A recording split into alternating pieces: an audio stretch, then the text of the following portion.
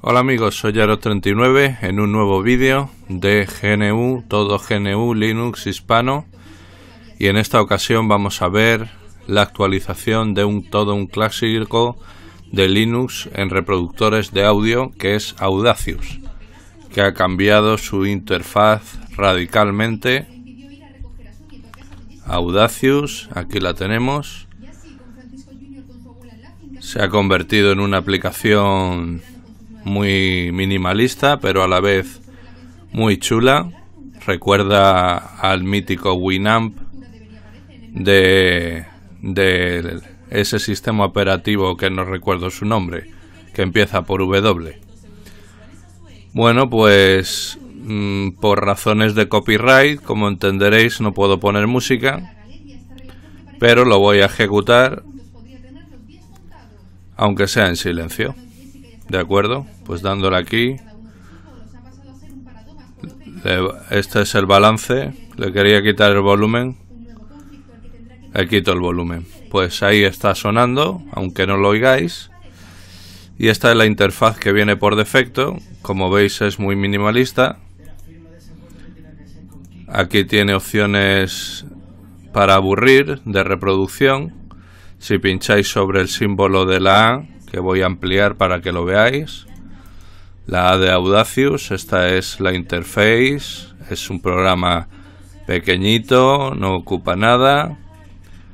Aquí le podéis dar para que reproduzca aleatoriamente una lista de reproducción y esta es para que repita la reproducción.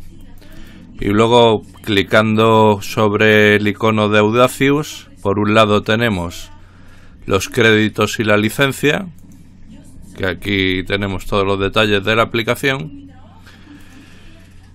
que nunca leemos y que deberíamos leer, pero es tan pesado que no lo hacemos ninguno. Y si clicamos con el derecho sobre el icono, pues tenemos reproducción de archivo, que lo que hace es abrirnos las carpetas y buscar el archivo a reproducir tenemos reproducir localización, esto es para introducir una URL de música en streaming. Lo que tenemos es muchas opciones de configuración, modo de visualización. Tenemos, veis, como podéis comprobar, voy a ampliarlo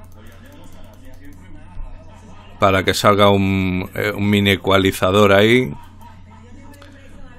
Ese es el ampliador, campo, sale una onda,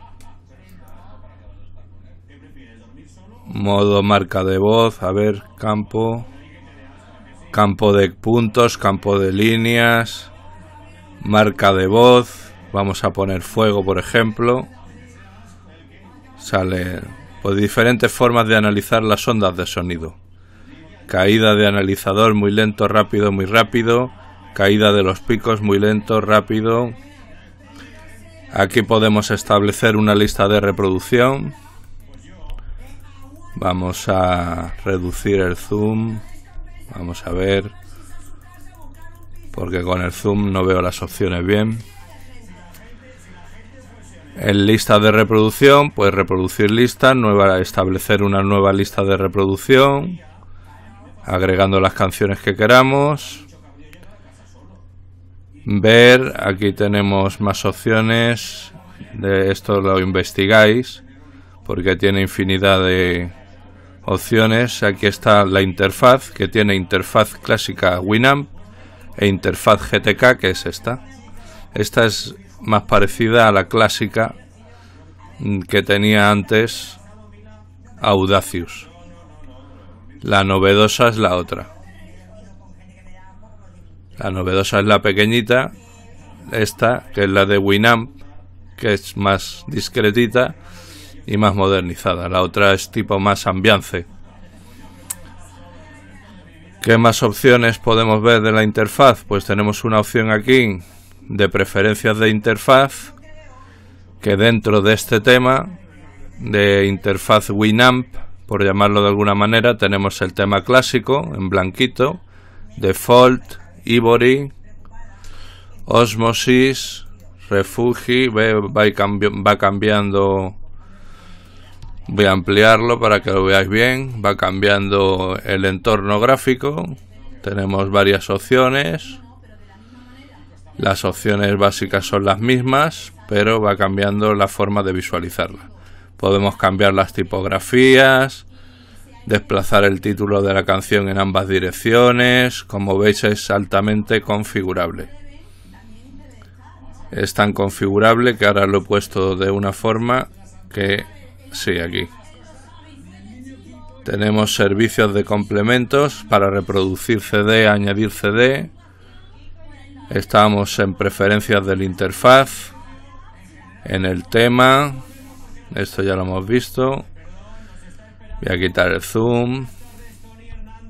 Vamos a ver un poquito más porque hay que ver cómo se instala, que es lo más importante. Porque esto lo podéis lo podéis eh, investigar vosotros con toda facilidad. Preferencias de Audacious, pues esto es importante porque tenemos ajustes de salida, pulse audio, podemos establecerle la salida OSS4 output, salida ALSA, salida SDL, Flywriter plugin, salida jack. Salida jack es un conector de los típicos de cascos.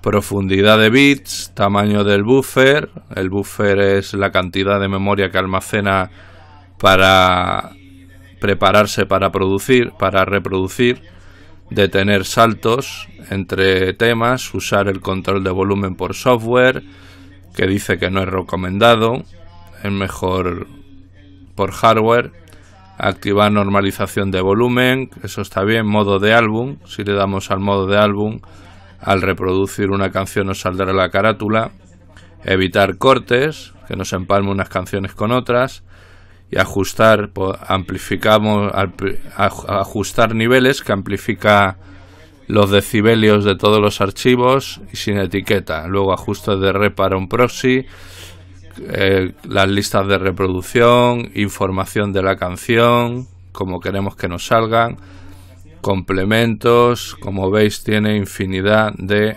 efectos tiene efectos de todo tipo, eco, crossfade, mezclador de canales, de la visualización, analizador de espectro, Burescope, OpenGL, Spectrum Analyzer. Como veis es un programa que ha evolucionado muchísimo, sobre todo a nivel de configuración y que tiene infinidad de opciones para ser un simple reproductor de audio. Luego tenemos más opciones, enrollar el reproductor, que esté siempre encima, que nos enseñe el tiempo transcurrido y el tiempo restante. Y nada más. Estas son todas las opciones. Lo voy a dejar en visualización, modo de visualización, reproducción, ver, interfaz. Vamos a dejarla en la interfaz que venía al principio, que es la por defecto, para que vamos a hacerle un último zoom para que veáis Audacious. Este es el programita, vamos a verlo en acción abriendo un tema musical. Veis que es muy minimalista, muy bonito. Para tener musiquita de fondo, está muy curioso y ya veis que es altamente configurable. Bueno, pues, uy, qué lengua. Vaya wallpaper que me ha salido, una lengua de un gato ahí que me ha dado un susto. Vamos a ver rápidamente cómo se instala. Os lo voy a indicar solamente porque ya os advierto que el update, sobre todo, porque como bien sabéis, vamos a utilizar repositorios que os dejaré en la descripción del vídeo. El update tarda un poquito. Pues se instala simplemente escribiendo sudo add apt repository ppa Nilari Morgar. Este es un, un desarrollador muy activo de web de web up de 8 escribimos, le damos a enter, yo no le voy a dar.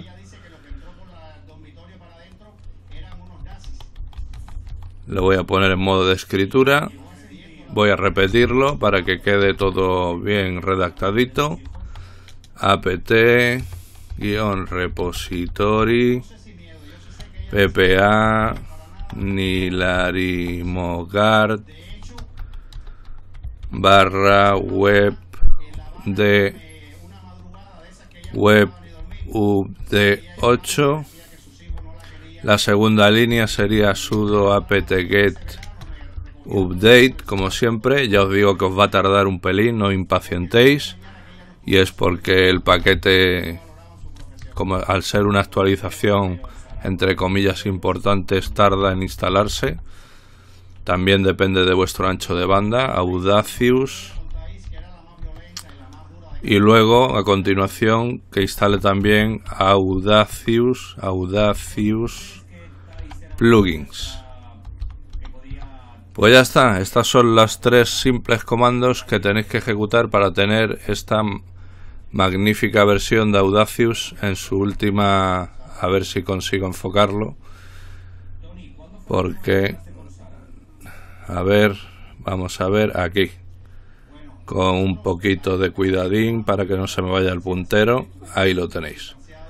sudo adapt repository ppa nilarimorgat web upd8 sudo apt-get update esperáis a que actualice el repositorio, sudo apt-get install Audacious, Audacious plugins y ya tendréis vuestro Audacious